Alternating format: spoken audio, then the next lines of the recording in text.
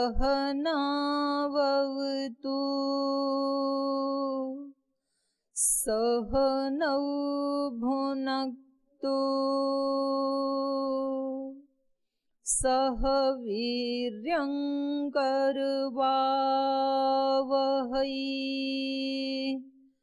तेजस्विनावधीतमस्तु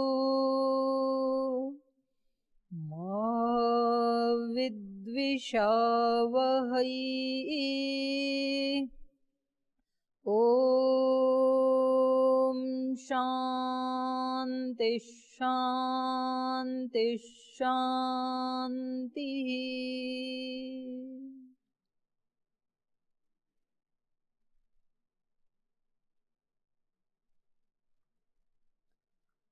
परम श्रद्धे वंदनीय श्रद्धे स्वामी जी महाराज एवं पूज्य आचार्य श्री की सूक्ष्म उपस्थिति को सभी की ओर से प्रणाम करते हुए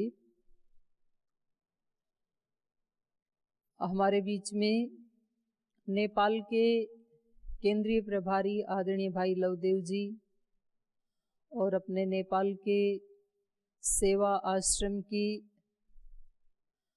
अधिष्ठात्री देवी, पूज्या साध्वी देव कृपा जी और भाई लवदेव जी का सहयोग करने वाले केंद्रीय स्तर पर आदरणीय भाई लोकनाथ जी।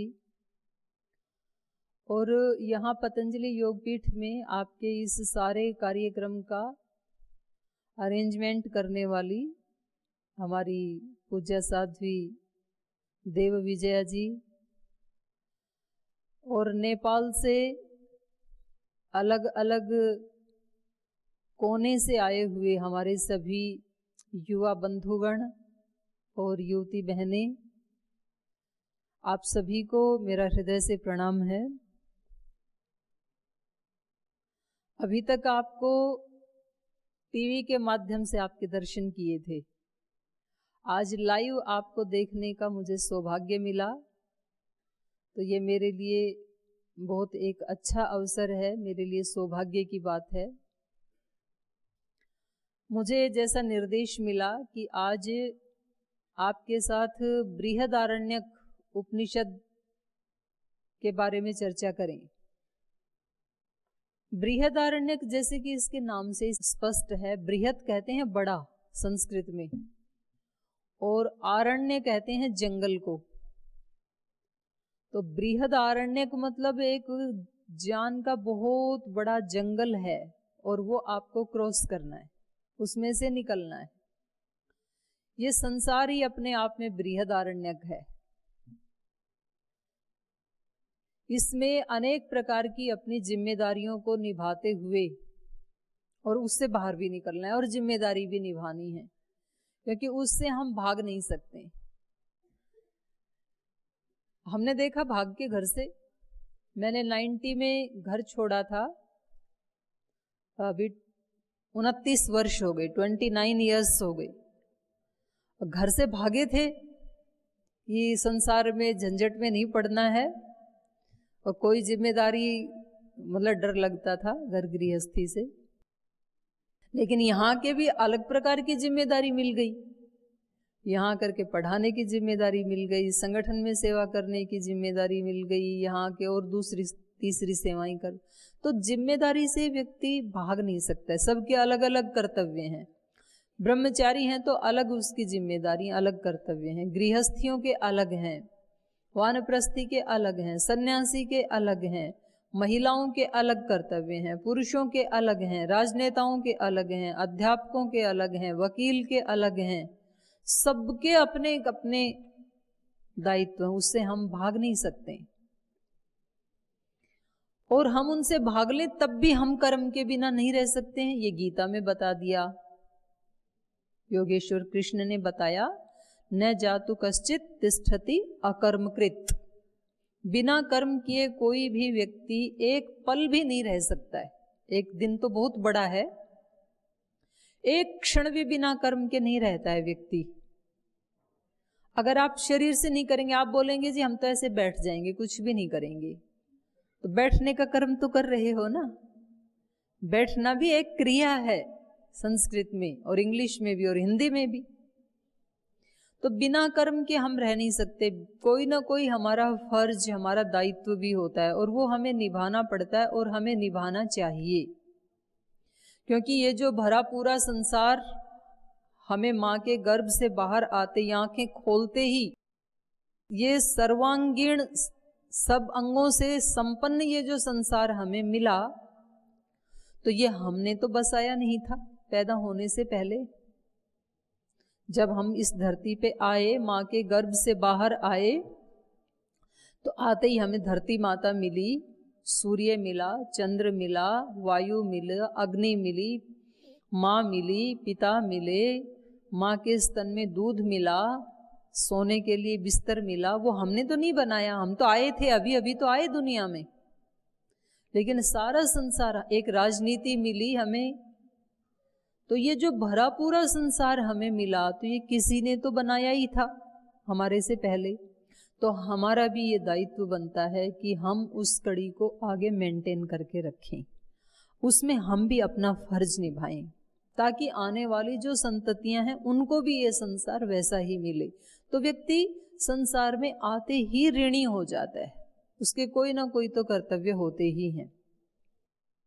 अब कर्तव्य भी हमें निभाने हैं, लेकिन कर्तव्य में ही यदि लगे रहे तो फिर एक बड़ा कर्तव्य है जो केवल इसी जन्म में ही पॉसिबल हो सकता है, संभव हो सकता है।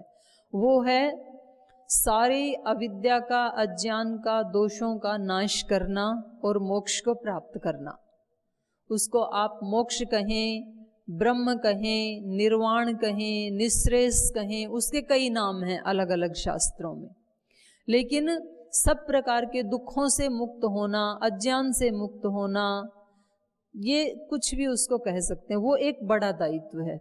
वो अन्य किसी भी योनि में संभव नहीं है। बच्चे पैदा कर सकते हैं दूसरी योनि में। गाय, भैंस, कुत्ता, बिल्ली कोई भी कर सकता है। अपना बसेरा बना सकते हैं। बसेरा मतलब मकान। तो चिड़िया है तो अपना घोंसला बनाती है। शेर जैसे हिंसक प्राणी हैं, जंगल के जो हिंसक वो मांद बना लेते हैं। सांप जैसे जो प्राणी है, वो बिल बना लेते हैं अपना, उसमें घुसते हैं। कुछ ना कुछ तो बना ही लेते हैं।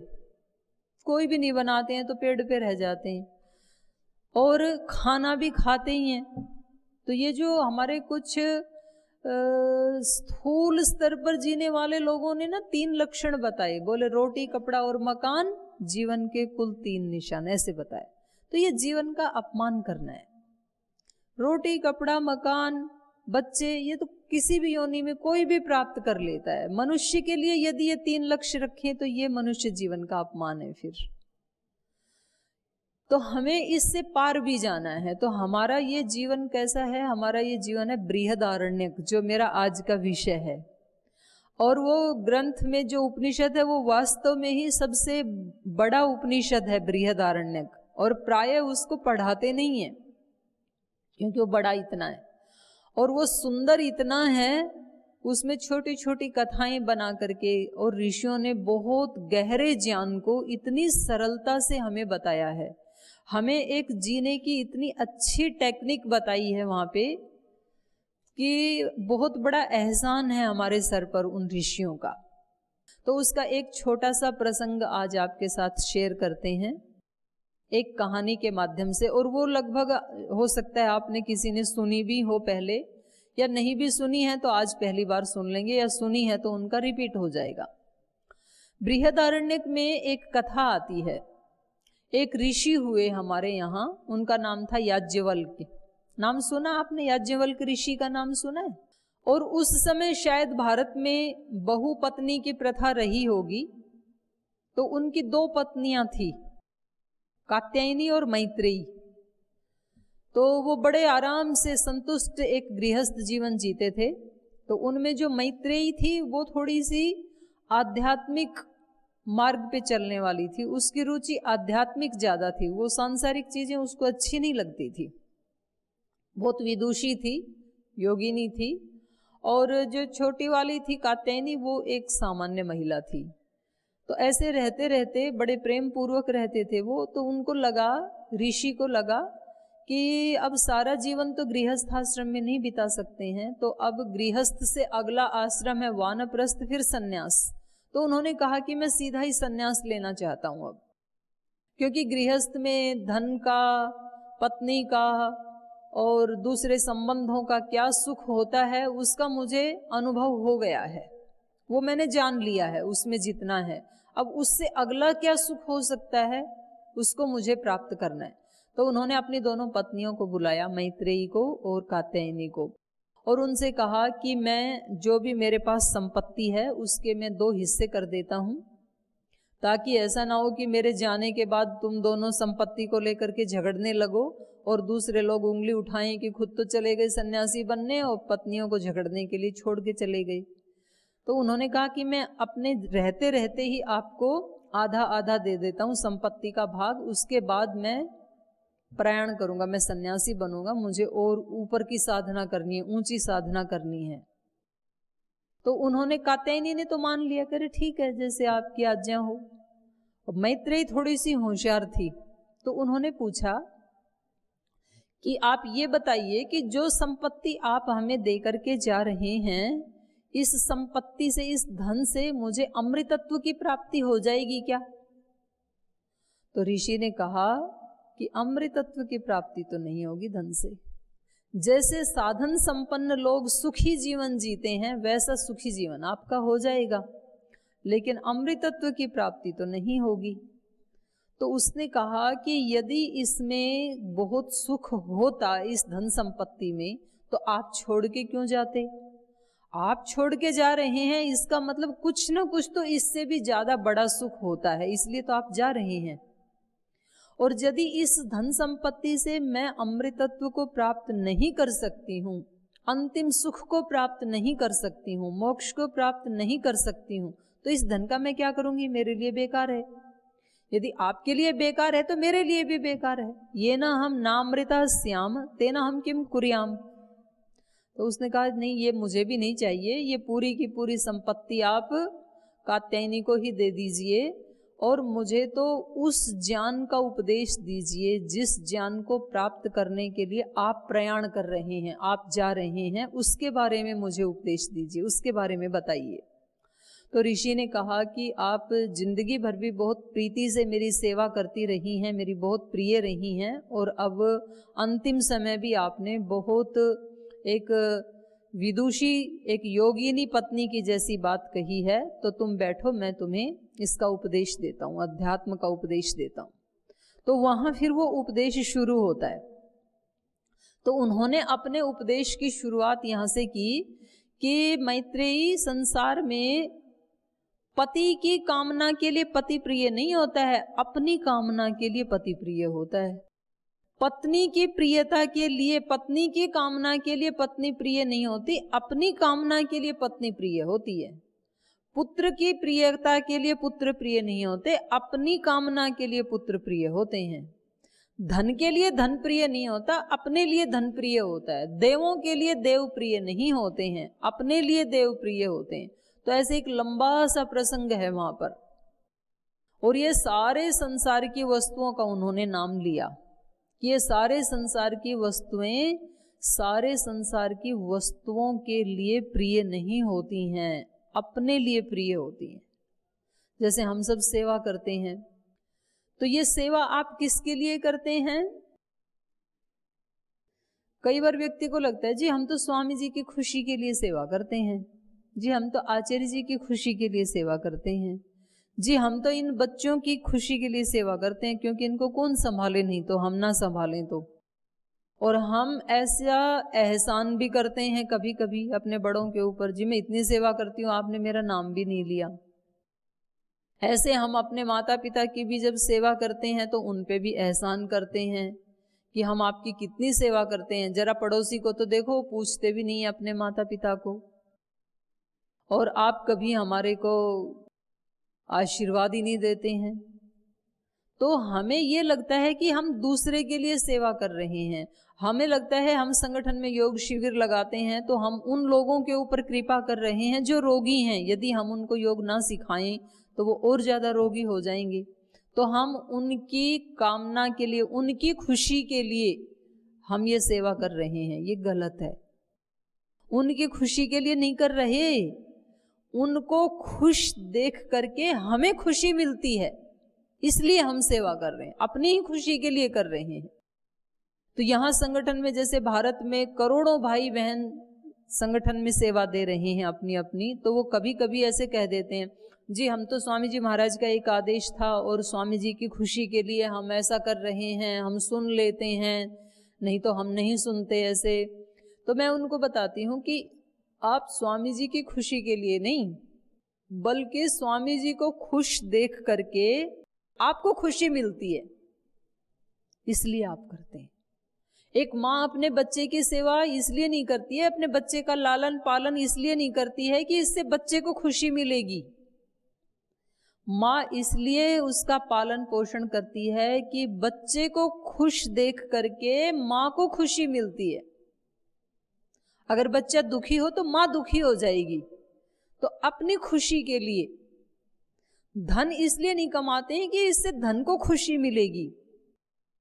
धन इसलिए लाते हैं कि उस धन के घर में आने से हमें खुशी मिलती है कि मेरे पास कितना धन आ गया। हम अपने बच्चों के लिए अच्छा मकान बनाते हैं, अच्छे कपड़े ला करके देते हैं अपनी पत्नी को आभूषण ला के देते हैं, वस्त्र ला करके देते हैं तो इसलिए नहीं देते हैं कि पत्नी खुश हो जाएगी, बच्चे खुश हो जाएँगे उनकी खुशी के लिए। उनकी खुशी के लिए तो लाते हैं, पर उनको खुश देख करके हमें खुशी होती है, इसलिए लाते हैं। तो अंत तो गत्वा हम सारे काम किसके लिए करते हैं? अपनी खुशी के लिए करते हैं। आप यहाँ भी आए, भारत में भी तो किसकी खुशी के लिए आए? अपनी खुशी के लिए यहाँ आकर के हमें अच्छा लगता है। सेवा भी करते हैं तो अपनी खुशी के लिए, दान भी करते हैं तो क्योंकि दान दे करके हमें अच्छा लगता है तो दूसरे के लिए नहीं देते हैं। इसलिए ये बात यदि समझ में आ गई, ये याज्वल्क ऋषि का उपदेश जो उन्होंने मैत्रेयी को दिया कि सब कुछ सब कुछ के लिए प्रिय नहीं होता है, अपने लिए प्रिय होता है। अपनी खुशी के लिए कर रहे हैं, अपनी प्रियता के लिए कर रहे हैं। तो ये बात यदि समझ में आ गई तो इससे लाभ क्या होगा? क्या लाभ होगा इससे? यदि ये बात हमें अच्छे से समझ में आ गई, बिल्कुल जम गई हमारे अंदर, जैसे हमारे अंदर कुछ बातें अच्छे से समझ में आती हैं कि अग्नि जलाती है, ये हमें ज्ञान हो गया। तो इसका लाभ क्या होगा इस ज्ञान का? हमें ये पता लग गया, अग्नि जलाती है तो इससे क्या लाभ हुआ? अग्नि में हाथ नहीं डालेंगे ये फ़ायदा हो गया। नहीं तो डाल देते, नहीं पता होता तो जल जाते। तो जब आपने को ये पता हो गया कि हम जो भी काम करते हैं, वो अपनी खुशी के लिए करते हैं तो इससे फ़ायदा क्या हुआ? इससे लाभ ये होगा कि दूसरों के ऊपर ब्लेम नहीं करेंगे। सुबह से शाम तक ब्लेम करते हैं ना हम। हम पूछते हैं, जी, आपने झगड़ा क्यों किया? मैं क्या करता जी? वो उन्होंने ऐसे बोला, फिर मैंने भी ऐसे बोल दिया। तो मैं, मेरा तो ऐसे बोलना स्वाभाविक ही था, जब उन्होंने ऐसे बोला तो। तो हम हमेशा, आपकी परेशानी का कारण कौन है? पति की परेशानी का कारण कौन है? जब पति परेशान है तो पत्नी तो पत्नी ने मिसबिहेव किया। जब मैं आया ड्यूटी से, उसने पानी नहीं पकड़ाया, उसने पूछा भी नहीं उसने सेवा भी नहीं की तो इसलिए मैं नाराज़ हो गया। पत्नी से पूछे, आपके दुख का कारण कौन है? तो बोले, जो ये सुबह से तो इंतज़ार कर रही थी, आके भी बात नहीं सुनते हैं, आते भी फ़ोन पे लग जाते हैं तो पत्नी के दुख का कारण? पति? सास के दुख का कारण कौन? बहू? बोले, मेरे घर में इतनी सुख शांति थी, मेरा बेटा मेरी बात सुनता था, जब से ये बहू आई है, बच्चा सुनता ही नहीं है तो सास के दुख का कारण कौन? बहू? बहू के दुख का कारण कौन? बोले, मैं अपने घर में सात बजे सो करके उठती थी। मामा मेरे को बेड के ऊपर ही चाय दे देती थी, जूस दे देती थी। अब मैं यहाँ आई तो छः बजे से तो उठती हूँ, इनकी सेवा करती हूँ, फिर भी खुशी नहीं होते हैं। तो इन्होंने तो मेरा जीवन ही नर्क जैसे बना दिया। तो इसके नर्क जैसे जीवन का कारण कौन? सास। बच्चों के कष्ट का कारण कौन? घर में तो मम्मी, माता और स्कूल में टीचर्स। और टीचर्स के दुख का कारण कौन? ये बच्चे, ये पढ़ते ही नहीं है रिज़ल्ट अच्छा आता नहीं है, फिर एडवांस तनख्वाह बढ़ाता नहीं है। बॉस के दुख का कारण कौन कंपनी में? एम्प्लॉयज़ कर्मचारी, क्योंकि वो वैसा काम करते ही नहीं है जैसा वो चाहता है तो इतना प्रॉफिट होता ही नहीं है। और एम्प्लॉयज़ के दुख का कारण कौन? बोस ये कभी सीधे माथे बात ही नहीं करता है। जब देखो डांटता ही रहता है, ऐसे कोई काम होता है क्या? सब दुखी हैं, लेकिन सब किसके कारण दुखी हैं? दूसरे के कारण। ब्लेम करते हैं हम, और ब्लेम करते हैं इसलिए हमारे दुखों का अंत नहीं होता है कभी भी। क्योंकि जिसको आप ब्लेम कर रहे हैं, वो तो इस बात को मान ही नहीं रहा है कि मेरे कारण दुख है। और वास्तव में कोई हमारे दुख का कारण नहीं होता है। हमारी जो कामनाएँ हैं कि ये मेरे लिए ऐसा बिहेव करे। ये जो कामना है, ये हमारे दुख का कारण है।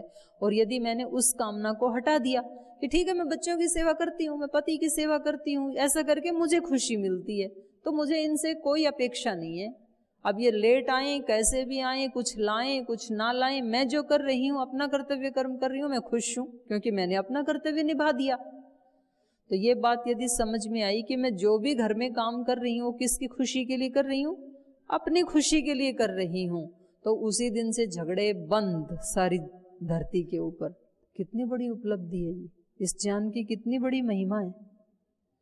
उसी दिन से शांति ही शांति जीवन में, खुशी ही खुशी, प्रसन्नता ही प्रसन्नता, क्योंकि मैं जो भी कर रही हूँ, अपनी खुशी के लिए कर रही हूँ। मैं संगठन में सेवा करती हूँ अब नीचे से संगठन वाले ब्लेम करते हैं, ये सुनते नहीं है, ऊपर से स्वामी जी आशीर्वाद देते नहीं है, फिर मैं टेंशन में आ जाती हूँ कि मैं सेवा कर रही हूँ, मुझे ना नीचे वाले सम्मान दे रहे हैं, ना ऊपर वाले आशीर्वाद दे रहे हैं, इसलिए मैं टेंशन में। और जब मैंने सोचा कि मैं अपनी खुशी के लिए सेवा कर रही हूँ, वो मुझे सम्मान दें या अपमान गुरु जी के आशीष सदा मेरे साथ ही हैं, भले ही वो मुख से बोलें या ना बोलें। और मैं अपना कर्तव्य का पालन कर रही हूँ, इससे मुझे खुशी मिलती है। तो मेरी खुशी तो मेरे अंदर ही निहित है, इसलिए बाहर से खुशी लेनी बंद, बाहर से शिकायतें बंद तो जीवन आनंद से पूर्ण हो गया। ये समझाया याज्ञवल्क ने मैत्रेयी को कि ये सब कुछ अपनी ही खुशी के लिए होता है संसार में, दूसरे की खुशी के लिए नहीं होता है। तो उसने कहा, ठीक है। फिर उन्होंने कहा कि आप किसके लिए जा रहे हैं फिर? सन्यास ले रहे हैं तो आप किसके लिए जा रहे हैं? तो उन्होंने एक शब्द कहा कि देखो, इस सारे संसार में दो ही तत्व हैं।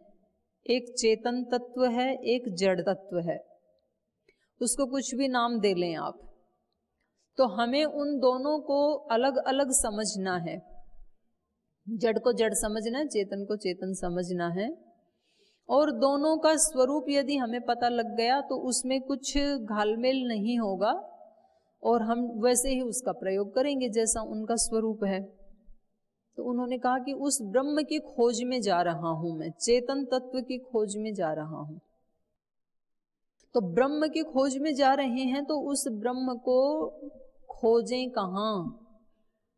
क्योंकि जो चीज़ें लिमिटेड होती हैं, जैसे मान लो मेरे पास कोई पुस्तक है और उसको मुझे जानना है तो मैंने पहले पृष्ठ से शुरू किया उस पुस्तक को जानना, इस पेज को जाना, फिर इसको जाना, फिर इसको जाना, फिर इसको जाना, फिर आगे के पेज को, फिर अंतिम पेज को जाना। तो सारी पुस्तक मैंने जान ली। तो ये चीज़ कैसी है? जिसका आदि है स्टार्टिंग पॉइंट है, और अंत भी है एंड भी है। लेकिन ब्रह्म को कैसे जाने?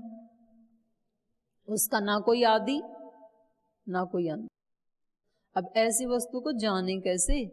इस संसार का ब्रह्मांड का कहीं आदि और अंत दिखाई देता है आपको? कोई ना आदि है, ना इसका कहीं अंत है। धरती का अंत आएगा तो समुद्र शुरू हो जाएँगे। समुद्र का अंत आएगा तो धरती शुरू हो जाएगी। धरती का भी अंत आएगा तो दूसरे ग्रह उपग्रह शुरू हो जाएँगे। कितना विशाल आकाश, कितने उसमें पृथ्वियाँ, कितने सूर्य, आज तक तो किसी को पता लगा नहीं। इस ब्रह्मांड का आदि कहाँ स्टार्टिंग पॉइंट कहाँ है और इसका एंड कहाँ है, आज तक नहीं पता लगा। सबने अनंत कहा उसको। तो अनंत है तो उसको जाने कहाँ कहाँ से शुरू करें। तो फिर ये ऋषियों ने इसकी खोज की। कि उसको कहाँ से जाने? कहीं से तो जानना ही पड़ेगा। जिसका कोई आदि और अंत नहीं होता है, प्राय वो सर्कल होता है, शून्य। इसलिए महात्मा बुद्ध ने उसको शून्य कहा। और जो परमाणु है मतलब जो जो चीज़ न जानने योग्य है, वो सब गोल है। सूर्य गोल है, चंद्रमा गोल है, पृथ्वी गोल है, परमाणु भी गोल है। क्योंकि सर्कल जो होता है ना, उसका कोई एक स्टार्टिंग पॉइंट नहीं होता। आप यहाँ इस बिंदु को भी स्टार्टिंग पॉइंट मान सकते हैं तो लौट के यहीं आएँगे। इससे आगे से आपने शुरू किया, ये भी हो सकता है स्टार्टिंग पॉइंट फिर भी लौट के वहीं आएँगे। तो जितना बड़ा सर्कल है, और उसमें जितने बिंदु बन सकते हैं, वो सब स्टार्टिंग पॉइंट हो सकते हैं, या एक भी नहीं है फिर। तो ऐसा ही ये ब्रह्मांड भी है। इसमें जहाँ से हम शुरू करें, वो ही हमारे लिए स्टार्टिंग पॉइंट हो जाएगा। और जहाँ हम उस सत्य को प्राप्त कर लेंगे, वो ही हमारे लिए अंतिम हो जाएगा। ये अब मैंने सब जान लिया। तो उसको शुरू करने के लिए जहाँ से हम शुरू करें तो जहाँ से शुरू करें तो कहाँ से शुरू करें? आप सबको भी जानना है, ब्रह्म को। आप सबको भी जानना है, मुझे भी जानना है। तो शुरू कहाँ से करें? जानना है, नहीं जानना है? जानना है, इसीलिए तो ये सारे अनुष्ठान कर रहे हैं। आपको भी जानना है तो ये बताओ कि शुरू कहाँ से करें? जहाँ खड़े हैं, वहीं से करें। मुझे यात्रा करनी है, आगे बढ़ना है तो मैं कहाँ से शुरू करूँ? जहाँ मैं बैठी हूँ, जहाँ मैं खड़ी हूँ। तो अपने आप से शुरू करें तो ये अगला उपदेश है। याज्वल्क का। उन्होंने कहा कि मैत्रेयी जो मनुष्य ब्रह्म को ढूँढने के लिए अपने आप को छोड़कर और कहीं बाहर देवी देवताओं में ढूंढता है, कहीं बाहर गुफा में ढूंढता है, कहीं समुद्र में ढूंढता है, बाहर के देवों में ढूंढता है, वो उस ईश्वर को मिस कर देता है। उसको वो ब्रह्म नहीं मिलता है। तो यदि उस ब्रह्म को जानना है तो पहले अपने आप से शुरू करें। तो उन्होंने वहाँ एक उदाहरण दिया, बहुत सुंदर उदाहरण दिया उन्होंने। उन्होंने उदाहरण दिया कि देखो जैसे कोई नगाड़ा बजाता है और हमें उस नगाड़े के बजाने से जो शब्द उत्पन्न हुए, उस शब्द को हमें पकड़ना है कंट्रोल करना है। तो हम शब्द को कंट्रोल कर सकते हैं? कोई नगाड़ा बजा रहा है और उससे जो शब्द उत्पन्न हो रहा है, उस शब्द को हम रोकना चाहते हैं कंट्रोल करना चाहते हैं। तो क्या शब्दों को ऐसे पकड़ सकते हैं क्या? पकड़ सकते हैं? नहीं पकड़ सकते। शब्द को यदि पकड़ना है तो नगाड़े को पकड़ लो। जब आपने उसको पकड़ लिया तो शब्द अपने आप ही बंद हो जाएगा। या फिर नगाड़ा बजाने वाले को पकड़ लो। जो बजा रहा है, उसके हाथ को पकड़ लो तो शब्द बंद हो जाएँगे। शब्द अपने आप काबू में आएगा कंट्रोल में आ जाएगा। ऐसे ही दूसरा उदाहरण दिया उन्होंने कि जैसे कोई शंख बजा रहा है और उससे जो शब्द पैदा हो रहा है, ध्वनि पैदा हो रही है, उस शब्द को हमें पकड़ना है, उसको ग्रहण करना है। और